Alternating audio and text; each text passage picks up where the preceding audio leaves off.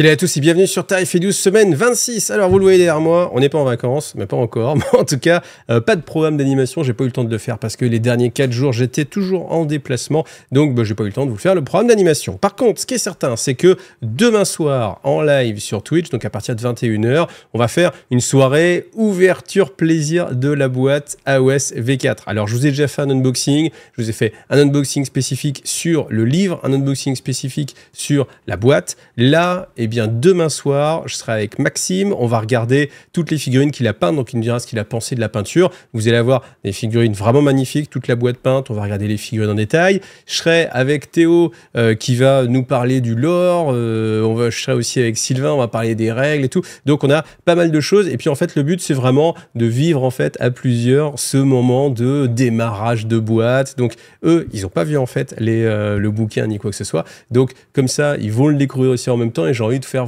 partager ouais, ce côté un peu euh, comme si vous rameniez quelque chose, hein, votre, votre soirée, voilà, on fait péter les carouettes, euh, puis tiens, regarde ce que j'ai sous la main, hop, la petite boîte à OSV4, les belles figurines qui sont peintes, etc.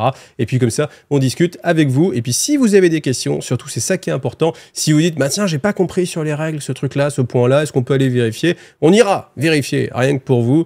Euh, à ce moment-là, on ira et puis on prendra le temps qu'il faudra. Donc voilà, n'hésitez pas, demain 21h sur Twitch. Voilà. Ensuite, jeudi, la vidéo lore toujours sur la chaîne secondaire Wargame Lore IGTV. Eh bien, c'est parti, j'ai choisi, ce sera Génopère, voilà, Génopère, ça va être le roman de l'été. Euh, j'aime bien comme ça un petit peu à l'été, euh, période estivale, vous faire un roman. Donc là, j'ai décidé de le faire chapitre par chapitre. Euh, ça va faire des vidéos qui, je l'espère, seront un petit peu plus faciles à gérer pour moi. Comme ça, je pourrais prendre de l'avance. Et puis quand je serai en vacances, comme ça, vous aurez quand même des vidéos. Ça, c'est vraiment, je croise les doigts un petit peu là-dessus. voilà, donc c'est une histoire qui est assez intéressante comme d'habitude. Je lis un chapitre, ensuite je vous fais la vidéo. Comme ça, je ne sais pas ce qui se passe après. Et puis ça permet de conjecturer. Donc vous aurez en plus la vidéo qui sera en deux parties. Première partie, vraiment, je vous raconte l'histoire. Et deuxième partie, je vous donne mon avis. Et on essaye de justement d'en discuter. Donc comme ça, si vous aimez pas quand je raconte euh, des choses et que je donne mon avis, bah, vous regardez pas la fin de la vidéo.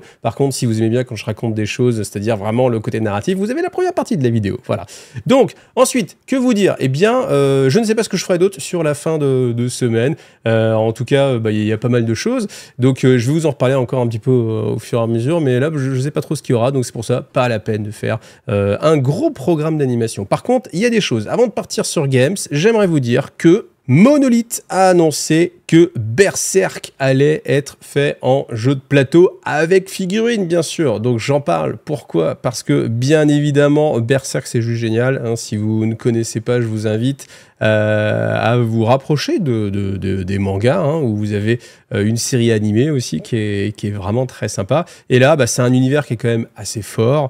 Et on va avoir une édition de part chez Monolith. Alors qu'est-ce qu'ils nous disent? Ils nous disent que c'est fait en euh, partenariat avec Akusensha, voilà, qu'on va bien sûr respecter l'œuvre de Kentaro Miura, euh, paix à son âme, hein, qui, est qui est décédé, et euh, bah voilà, essayer de faire en sorte que les mécanismes transcendent, enfin ressent, enfin vous permettent de bien ressentir ce que c'est Berserk, sachant que Berserk c'est un des héros les plus violents, les plus les plus euh, en rage, en mode vraiment bah, bah, berserk, quoi, hein, ça, ça, porte vraiment son nom. Je suis vraiment curieux de voir comment ça va être traduit en termes de jeu, parce que je pense que ça va être vraiment violent. Hein, voilà. Et j'attends aussi vraiment avec impatience toutes les figurines. À mon avis, ça va donner vraiment quelque chose d'assez fou. Voilà, ça c'était euh, pour l'actu euh, sur Berserk. Alors bien sûr, Internet nous on parle aussi de Games Workshop, hein, entre autres. Et puis, bah, vous en soupez depuis euh, maintenant euh, bien longtemps. Vous allez en souper pendant encore trois semaines. Vous allez avoir en fin de semaine la précommande sur Radescaven, donc la boîte AOS V4. Donc là, c'est les moments à laquelle vous allez pouvoir la, commander. Hein. Donc nous, on est dans la, partie du monde la, la, plus grande. Voilà, donc à 11h, hein, euh, comme d'habitude, samedi 11h. Donc vous avez plusieurs moyens de la commander. Euh, vous pouvez aller chez votre vendeur dire ah, fais-moi une boîte de côté, etc. Euh, vous pouvez aller en magasin Game Store Shop et là, bah, ça dépend de chaque magasin Game Store Shop, je ne pourrais m'engager. Vous pouvez aussi être en ligne et puis aller sur le site officiel de Game Store Shop et vous pouvez aussi aller sur My Hobby Place où vous aurez moins 20% de remise, le code promo, enfin le lien d'affiliation avec IGTV. Donc ça, c'est bien sûr ce que tout le monde préfère. Voilà. Alors bien sûr, les quantités sont limitées. À l'heure actuelle, je ne sais pas exactement combien il y aura de boîtes. Euh, bien sûr, on ne peut pas assurer que tout le monde aura, aura sa boîte. Donc, faut être là à l'heure. Vous avez un système de file d'attente qui a été mis en place sur ManyWePlace, donc n'hésitez pas à vous connecter un peu en avance. Attendez pas 11 heures pour dire allez, euh, je, vais aller me connecter. Soyez là un petit peu en avance et puis après, bah voilà, on verra et advienne que pourra. J'espère que bien sûr ça se passera le mieux possible. Autre solution, si vous êtes sur Tours, vous pouvez eh bien, téléphoner à Cultura Chambray les Tours. Je vous ai réservé un nombre de boîtes, il y a au moins 10 boîtes de réservées de façon certaine. Vous dites, je veux réserver la boîte pour AOS V4, je viendrai la chercher le jour de sa sortie, donc c'est-à-dire le 13 juillet. Et puis à ce moment-là, vous aurez, en disant Iggy TV, 15% de remise aussi sur la boîte. Et l'intérêt aussi, c'est que on va pouvoir se voir. Donc, si vous voulez qu'on se rencontre, qu'on discute un petit peu, moi, je serai là avec ma boîte d'AOS. Donc, il y aura toutes les figurines peintes. On pourra faire de la démo, on fera sans doute du Spearhead. On verra en fonction des gens qui sont là. Hein. Je ne vais, pas, pas vous imposer. Hein. Si vous voulez juste discuter, juste on discute. Hein. Si vous voulez jouer, ça sert à de jouer. Donc, euh, euh, on, essaiera de faire tourner un peu s'il y a beaucoup de gens pour faire, pour faire tourner un peu la démo. Et en plus, vous aurez ce jour-là 10% de remise sur tout le rayon au Cultura. Donc, ce n'est pas valable dans tous les Cultura. C'est vraiment quelque chose que je fais avec le Cultura de Chambray-les-Tours. Donc, n'appelez pas votre Cultura euh, Marseille ou Paris. Eh bien non, désolé, il faut habiter sur Tours. Si vous voulez des avantages comme ça, bah, écoutez, désolé, c'est comme ça, c'est comme ça. Donc, déménager, c'est une belle ville en plus, Tours. Et euh, voilà, vous aurez, bah, Chambray les Tours, c'est à côté de Tours, hein, évidemment, vous l'aurez deviné. Donc euh, voilà, vous aurez 10% de remise et vous pouvez, bien sûr, passer un coup de fil, réserver votre boîte. Ça, par contre, ça peut être important, puisque malgré tout, ils auront des quantités limitées et en profiter pour peut-être faire d'autres commandes. C'est-à-dire que vous pouvez même vous dire, je m'en fiche d'AOS V4, euh, par contre, j'ai envie de discuter avec le gars TV et puis euh, parler lore, etc. Enfin, on verra. Hein. Bien sûr, on va privilégier euh, AOS, mais si euh, vous voulez discuter d'autre chose, on pourra discuter d'autre chose et en profiter pour faire une commande chez Cultura et bénéficier de 10% de remise. Voilà. Donc, ce sera de 15h à 18h, samedi 13 juillet et puis bah voilà, j'espère qu'on vous verra nombreux. Et puis comme ça, on passera un, bon moment, une belle après-midi, euh, tous ensemble. Voilà. Et si on revient sur les précos, eh bien, chose à noter, c'est qu'il n'y a que la boîte de base. Alors le prix de la boîte de base, je ne l'ai même pas dit, mais vous, vous le savez depuis longtemps, 210 euros, c'est le prix de la boîte de base. Donc 210 euros. Vous n'avez pas pour l'instant de livre séparé. Il n'y a que cette boîte-là, qui est bien sûr la boîte collector. Alors on sait comment ça se passe à chaque fois. Hein. Vous avez la boîte collector, et puis après, un mois, deux mois plus tard, un mois et demi en général, vous avez une déclinaison, une version. Alors je sais pas quel nom elles vont porter, hein, forcément, mais une version un peu escarmouche, où vous avez qu'une partie des figurines qui est la plus facile d'accès parce que les moins chères. Après, vous avez la version intermédiaire, où en général, vous avez quasiment toutes les figurines, sauf certains trucs un petit peu particuliers. Et puis, vous avez une version de luxe où vous avez en plus des décors. C'est comme ça que ça a été fait pour 40 000. Je suppose qu'il y a de fortes chances que ce soit exactement la même chose. Et c'est à ce moment-là où vous pourrez acheter séparément eh bien, le bouquin pour jouer à Spired et le bouquin de base. Voilà. Alors, est-ce qu'il y aura aussi les cartes qui seront livrées avec? Je ne sais pas. Vous voyez, ces petites cartes-là de péripéties. Euh, je ne sais pas si elles seront euh, disponibles euh, séparément plus tard. On peut le supposer, elles existent, je, je, ne sais pas. Donc ça faudra, faudra voir à ce moment-là. Mais toujours est-il que pour l'instant, si vous voulez partir en vacances avec votre bouquin sous le bras, eh bien, faut acheter cette boîte de base. Vous n'avez pas beaucoup de choix. Voilà. Après, toujours est-il que ça se revendra forcément bien, hein, les figurines, vous allez trouver. Euh, si vous avez des assos, etc., bien sûr, hein, je pense que vous ne m'avez pas entendu pour le faire. Euh, vous vous êtes mis d'accord avec vos potes pour vous répartir la boîte. Toujours est-il qu'il n'y aura pas d'autres news. En tout cas, les bouquins, c'est euh, pas des bouquins en français.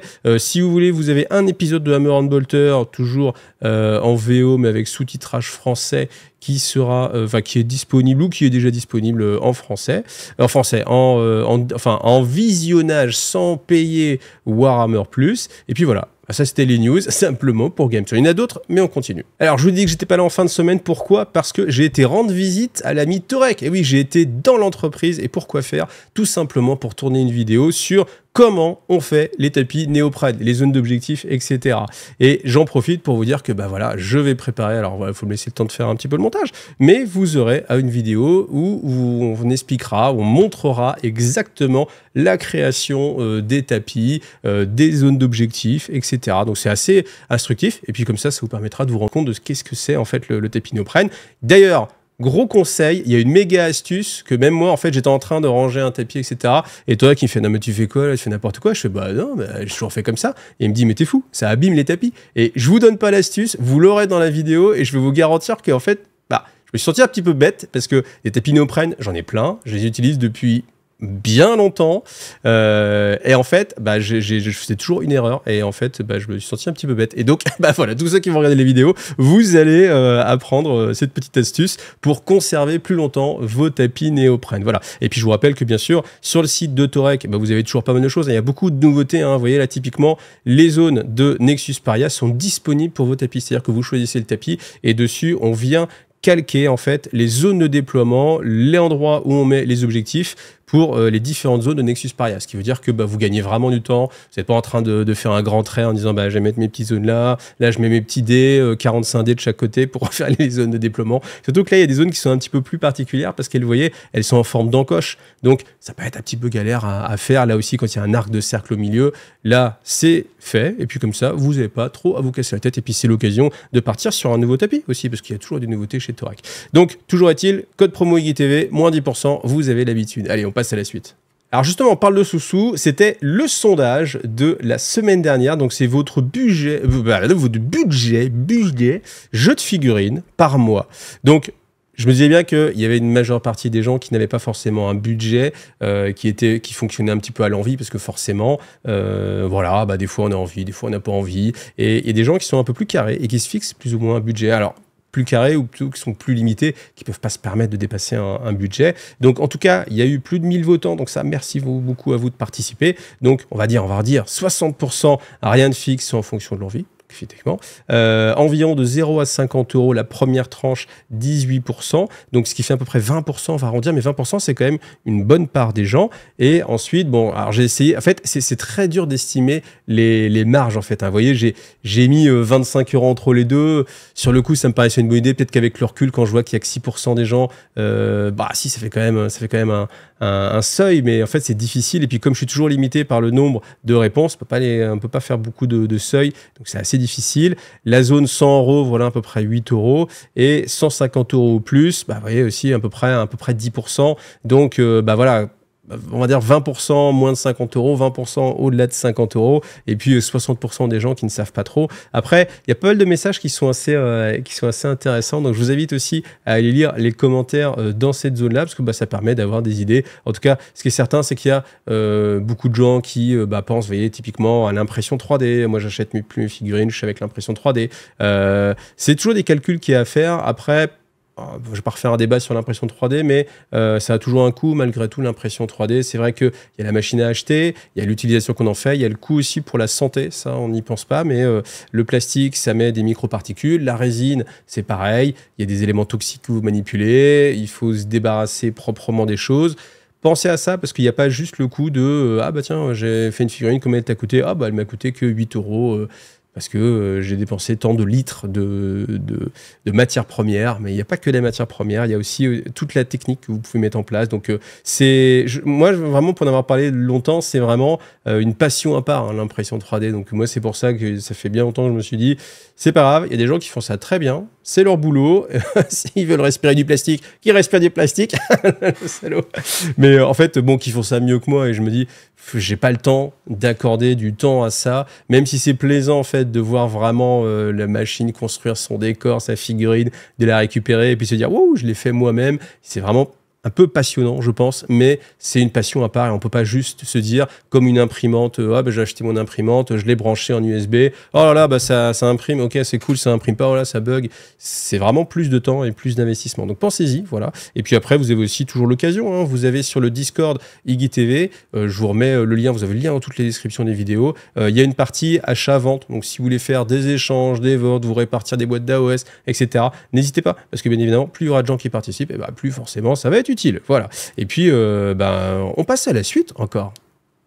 La suite, c'est de vous dire merci. Hein. merci à tous ceux qui participent à la chaîne, que ce soit en répondant dans les commentaires, en likant, en partageant, euh, en venant me voir directement, ce genre de choses. Et puis à ceux qui me soutiennent aussi sur Tipeee, parce que c'est le financement de la chaîne, hein. c'est le, pied sur lequel euh, bah, on tombe, tout simplement. Et je voulais remercier Christophe, qui grâce à lui, eh bien, euh, Cricri, merci grâce à toi. On n'est pas Fanny cette, euh, semaine. Et on a un petit peu de plus. Voilà. Donc merci beaucoup à toi et merci à tous ceux qui passent par les liens d'affiliation, comme d'habitude, MyUbiPlay. Je vous remets tous les partenaires. Merci à vous tous. Alors, le son sondage de cette semaine, il va porter sur la boîte d'AOS V4. Alors, je vous l'avais déjà fait il y a pas mal de temps. Là, maintenant qu'on y est, maintenant que c'est cette semaine que vous allez précommander, j'aimerais savoir si ça a évolué. Donc, du coup, euh, vous, je vous ai fait quatre réponses. Le pas moi, ça veut dire que quoi qu'il arrive, vous avez jamais eu envie de vous intéresser à AOS V4. Vous avez vu les news, vous avez zappé, ça vous a jamais intéressé, pas moi. Ensuite, je pensais et en fait non, ça veut dire vous étiez partant pour AOS V4. Et puis au final, quand vous avez vu la boîte, quand vous avez vu les figurines, quand vous avez vu la présentation des règles qu'il y a pu avoir, et eh ben